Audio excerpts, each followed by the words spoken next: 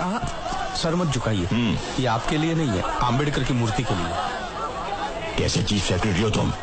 पहले बताना था ना। माइक ने पकड़ लो आज माइक ने कवर हो गया संभालने की कागज़ बाकी नहीं चलो आज महाराष्ट्र के हर घर में कलर टीवी और हर गाँव में डिश एंटेना है। नई नई बस्तियों में बिजली जा रही है। उंगली उठाने वाले उंगली उठाते ही रहेंगे। जो तनकीद करते हैं उनका काम सिर्फ़ तनकीद करना उनको गालबन कुछ और करना नहीं आता। लोगों का स्टैंडर्ड ऑफ़ लिविंग इतना ऊँचा हो गया है। खुशहाली आ रही है मुल्क में। घर घर में बिजली पानी राशन होगा। घरेलू सार्फिन को भी सस्ती बिजली मिलेगी। पूरी शिक्षा मिलेगी। यूनिवर्सिटी भी बनेगी।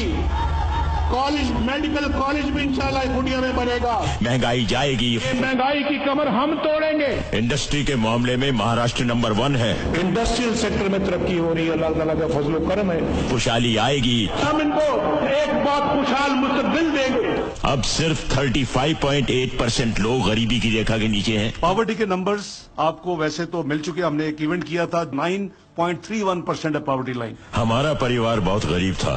हम लोग खेती बाड़ी करते थे। मेरे वालिद का ताल्लुक एक गरीब किसान के घराने से था। तुम्हें जानना है मेरी प्रॉपर्टी के बारे में? तो जाओ कोर्ट में केस करो। वहाँ आकर बताऊँगा कि मेरे पास क्या है। हमें कहते हो कि जनाब अपने असासे डिक्लेयर करो। असासे तो अल्लाह के फजल करम से हमने कुर्बान किए पाकिस्तान के लिए। इस इंटरव्यू को सनसनी खेज बनाकर नाम कमाने के लिए बेबुनियादी बातें कर रहे हो तुम। इल्ज़ाम लगाने मैं समझता हूँ जेब नहीं देता। किसी भी चैनल को जनता को मेरे खिलाफ भड़काने की साजिश है ये। यहाँ तो ये सब लोग टांगे खेचने वाले बैठे हुए हैं। अनेक्स्टर ए बी सी डी करके 18 सेक्शन है। मेरे तमाम असासों और वसाइल की सारी दस्तावेजात पहले ही मुतल इदारों बशमूल सुप्रीम कोर्ट के पास मौजूद है। आग में हाथ डालोगे जल जाओगे। जो हमें चबाने की कोशिश करेगा उसके दांत टूट जाएँगे। हम लोहे के चने हैं। आज तक एक बार भी सीएम के ऑफ़िस में आए हो वहाँ की चौकट पार की है तुमने? सबको आप लेके आओ इस्लामाबाद भी लेके आओ। इनको वज़ीर आज़म हाउस दिखाए। जानते हो कितना कुछ झेलता हूँ मैं? जो सीएम की कुर्सी पर बैठता है ना वही जानता है। मुझे कई लोग पूछते थे जनाब नवाज़ शरीफ साहब आप वज़ीर आज़म जब से बने आप इतने परेशान क्यों हैं? आकर देखो कि दिन में कितने लोग मिलने के लिए आते हैं। रोते हैं सवाल पूछते हैं धन्यवाद करते हैं पैर छूते हैं मालाएँ पहनाते हैं गालियाँ देते हैं। आप क्यों नहीं हँसते खेलते मुस्कुराते?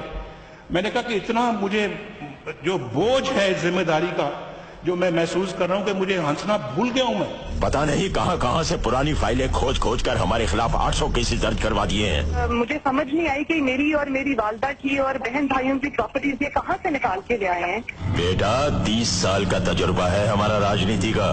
सात भाइयों ने मेहनत मजदूरों की तरह तीस की दिहाई से सफ़र शुरू किया और केस फ़ाइल करो तहकीकात करो इंक्वायरी कमीशन बैठाओ। आज मैंने एक आला सती अदालती कमीशन कायम करने का फैसला किया है। अगर साबित हो जाए तो मुझे फांसी पर लटका दो। मैंने तुम्हें रोका है क्या? कमीशन की तहकीकात के नतीजे में मुझ पर कोई इल्ज़ाम साबित हुआ तो मैं एक लम्हे की ताखीर के बगैर घर चला जाऊँगा। आपके खिलाफ आवाज़ उठाइए उसका कुछ तो करना चाहिए ना। आज मैं इन सबका पोस्टमार्टम करके जाऊँगा खुदा की कसम